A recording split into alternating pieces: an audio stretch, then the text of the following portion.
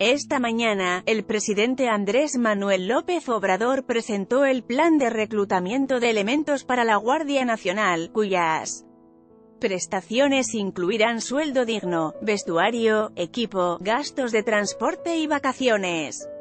Mientras tanto, las condiciones en las que trabajan los policías de todo el país están lejos de aquellos beneficios, en la mayoría de los casos, ganan menos de 10 mil pesos, cubren jornadas de 24 horas, no reciben capacitación y, además, deben pagar con su propio dinero por los chalecos antibalas, los cartuchos y el calzado.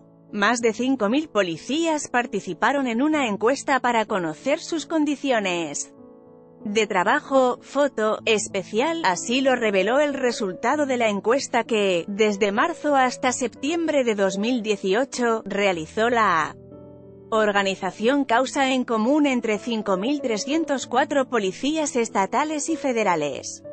Lee también, este es el nuevo uniforme de la Guardia Nacional de AML o mayor que de acuerdo con los resultados de esta muestra, 36% de los policías ganan menos de 10 mil pesos, mientras que el 52% gana entre 10 y 15 mil pesos.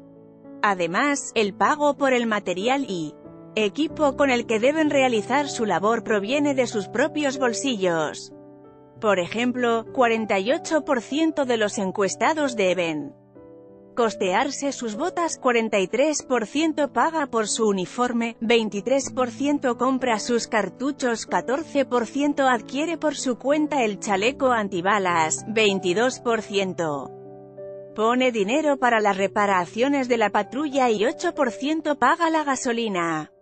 Asimismo, el 50% de los policías encuestados atribuyen la corrupción al interior de las corporaciones a los bajos salarios, mientras que el 20% considera que es por exigencia de los mandos. Tienen oportunidades laborales. Aunado a esto, los policías indicaron a causa en común que cotidianamente llevan a cabo labores que no les corresponden, como realizar encargos personales, 62%, asistir como acarreados a un mitin político, 12%.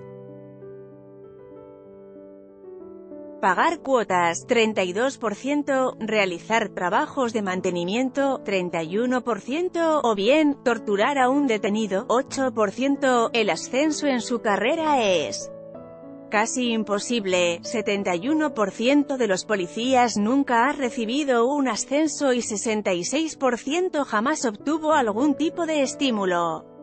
Por otro lado, 26% aseguró que nunca ha practicado tiro, o bien, lo ha hecho una vez cada dos años, 23%.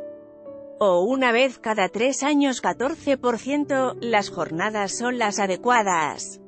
No, desafortunadamente, trabajan más de lo recomendable. De acuerdo. Con otro estudio de causa en común, el 34% de los policías asegura cumplir jornadas laborales de 24 horas. En México, los policías llegan a trabajar hasta 32 horas ininterrumpidas, foto, especial. Además, la encuesta revela que, entre más extensas sean las jornadas acumulan más hora extra, los policías que trabajan 12 horas llegan a sumar 4,6 horas adicionales, mientras que los policías que trabajan 24 horas agregan 8,9 horas más a su jornada. Es decir, la mayoría de los policías trabajan entre 16 y 32 horas ininterrumpidas. Hay más críticas. Además de este estudio, la convocatoria a la Guardia Nacional provocó desconcierto. Uno de los que se mostró extrañado por este anuncio, fue Ernesto López Portillo, coordinador del programa de Seguridad Ciudadana de la Universidad Iberoamericana, quien fue invitado a participar en las audiencias públicas por la Guardia Nacional, convocadas por el senador Mario Delgado, presidente de la Junta de Coordinación Política de la Cámara de Diputados. Recibí invitación de arroba Mario barra baja Delgado 1 para participar en las audiencias sobre Guardia Nacional la próxima semana. La invitación es a intercambiar opiniones antes de aprobar, dice. Pero el presidente arroba López Obrador barra baja lanzó ya la convocatoria al reclutamiento, ¿de qué se trata? arroba Ernesto LPV, arroba Ernesto LPV. 2 de enero de 2019 en sentido estricto, la Guardia Nacional no existe de manera legal, pues no cuenta con una ley ni con la aprobación de reformas constitucionales para su funcionamiento. Sin embargo, esta mañana ya se presentó el plan de reclutamiento. Podría interesarte. Se reclutarán 50.000 jóvenes para integrar la Guardia Nacional. ¿Cuánto costará crear la Guardia Nacional de AMLO? Guardia Nacional. Y legalizar drogas. Así es el plan de seguridad de AMLO.